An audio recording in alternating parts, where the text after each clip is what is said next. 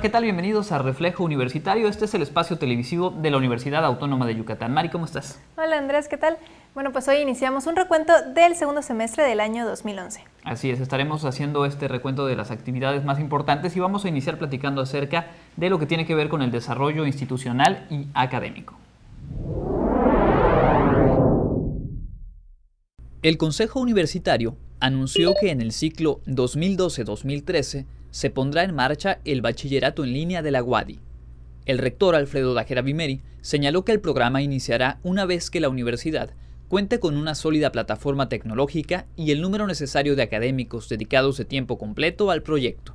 También se anunció el programa Wadi Virtual, a través del cual se ofrecerán diplomados y asignaturas en línea con el objetivo de fortalecer el proceso formativo de estudiantes y profesionales. En el mes de septiembre quedó establecida la Red Jurídica de Universidades Públicas. A través de esta vinculación, las Universidades Nacional Autónoma de México, de Guadalajara y Guanajuato, y autónomas de Coahuila, San Luis Potosí, Hidalgo, Tabasco, Campeche y Yucatán comparten la formación jurídica orientada al conocimiento del derecho relacionado con la universidad pública y con la protección de la autonomía. La intención de la red es ayudarnos de manera recíproca. Además, siempre he manifestado que en la medida que el personal jurídico al servicio de la universidad pública esté capacitado, en esa misma medida se fortalece a la universidad pública. La red nos va a hermanar todavía más, ¿verdad? Las universidades estamos hermanadas, pero la parte jurídica nos va a permitir compartir estos, estos aspectos y sin ningún interés de, de protagonismo, este, emitir opiniones, estudios basados en precisamente serios profesionales. Con el propósito de dinamizar la formación de investigadores y estudiantes, nuestra universidad formalizó alianzas estratégicas con el Instituto Tecnológico de Massachusetts, el Zaragoza Logistics Center y Logica Colombia. Representantes del Centro Latinoamericano de Innovación en Logística estuvieron en nuestra ciudad y subrayaron que la logística debe ser un tema prioritario en la región, ya que el 70 u 80% de la economía del Estado se basa en los servicios. Esto, por supuesto, también abre eh, posibilidades a los estudiantes de optar por becas, de optar a programas de logística y cadena de suministro de primer nivel, reconocidos ya en, los rankings mundiales, en los primeros lugares. De manera que esa necesidad de contar con recurso humano de todo nivel, eh, empezando por la licenciatura, pues yo creo que es algo que es eh, de mucho beneficio a muy corto plazo y a largo plazo para la economía del estado de Yucatán.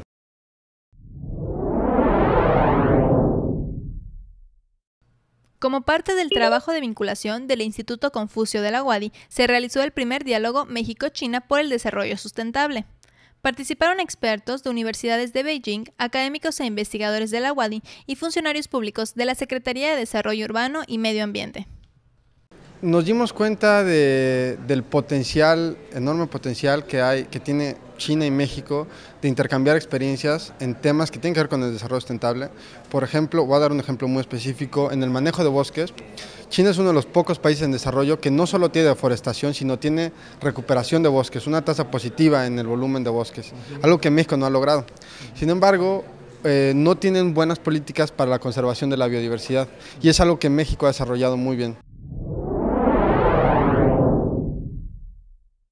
Uno de los encuentros más importantes de universidades e instituciones de educación superior se llevó al cabo en Mérida en el mes de noviembre.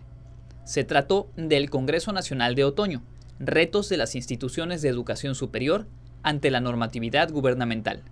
Asistieron representantes de las áreas de finanzas, recursos humanos, planeación y control de 40 instituciones, para intercambiar experiencias que impulsen estrategias de fortalecimiento del trabajo.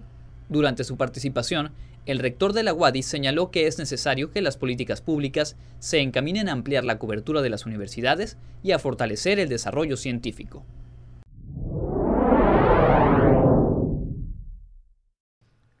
A fines del mes de noviembre se firmó un importante convenio entre la Secretaría de Salud, el Centro Hospitalario Universitario de Toulouse, la Escuela Superior de Tecnologías Industriales Avanzadas de Francia y la UADI, El objetivo es desarrollar actividades conjuntas en docencia, investigación y extensión en los campos de la gestión y organización hospitalaria y el intercambio de académicos y de estudiantes de México y Francia. Con estas acciones se buscará fortalecer la formación profesional de los estudiantes y la atención que se brinda en el Hospital Orán. Ya estamos en las últimas etapas para comenzar una reestructuración en la que participa la universidad, pero donde el Hospital Orán abre las puertas también para que comenzáramos a trabajar recobrando la mística de hospital escuela, en la que estudiantes y maestros de la Facultad de Medicina puedan estar interactuando aquí en el hospital, también colaborando para la enseñanza de nuestros alumnos y al mismo tiempo colaborando en el trabajo hospitalario. La empresa ABS Quality Evaluations entregó a la universidad constancias de certificación ISO 9001-2008. Procesos como el de selección de aspirantes y la administración de recursos financieros mantuvieron la certificación, y otros vinculados con el servicio social, los servicios de salud y algunas áreas de facultades como la de medicina fueron evaluados y aprobados por primera ocasión. Los reconocimientos dan constancia de los buenos resultados del trabajo del sistema de gestión de calidad que se puso en marcha en 2006.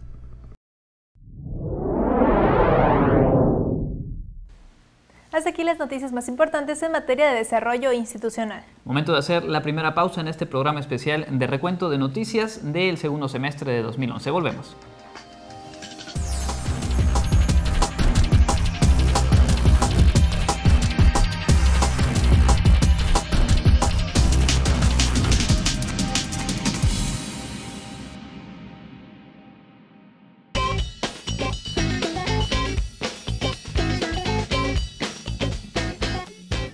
Estamos de vuelta en Reflejo Universitario en este recuento de actividades del segundo semestre de 2011. Y es momento de platicar de un aspecto central en el quehacer de la UADI a través de sus estudiantes, profesores y en general de todos los que conforman la comunidad universitaria, la responsabilidad y la trascendencia social. Profesores y estudiantes que ponen al servicio de la comunidad sus conocimientos en proyectos de responsabilidad. Vamos a verlo.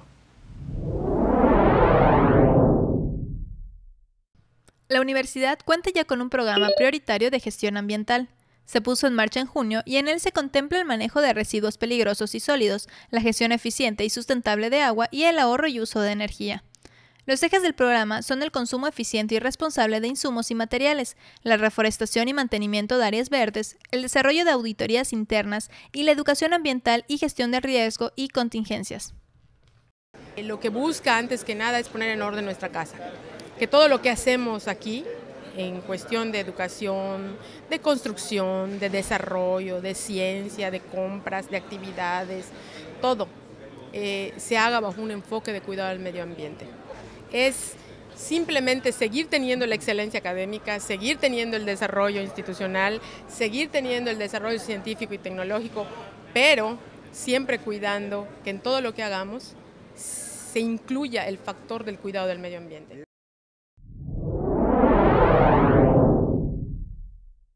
A fines del mes de junio, el programa de ayuda mutua Red Solidaria de la Unidad Universitaria de Inserción Social San José Tecó cumplió 10 años. Se trata de un programa en el que profesionales y estudiantes de la UADI capacitan a personas con problemas de diabetes, hipertensión o padecimientos como ansiedad y depresión a través de la educación para la salud.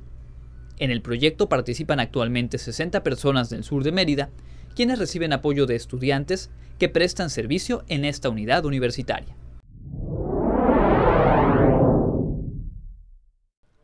En el presente ciclo escolar, el programa de servicio social de la UADI, PERAJ Adopta un Amigo, inició actividades de la escuela primaria Vicente María Velázquez, ubicada en la colonia San Antonio Slush, en el sur de Mérida.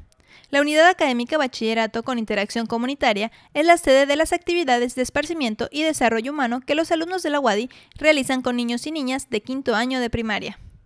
Tiene una doble función porque además de todas estas habilidades que van desarrollando, eh, la idea de que los muchachitos, los jovencitos de, primaria se vayan sensibilizando, se vayan adaptando a, la unidad académica porque son jóvenes del rumbo, muchachitos del rumbo, que finalmente lo que se busca es de que ellos se adapten, se vayan, vayan a tener una perspectiva de a corto plazo, a mediano plazo, que puedan considerar la unidad académica como una posible opción para ingresar y continuar sus estudios a nivel medio superior.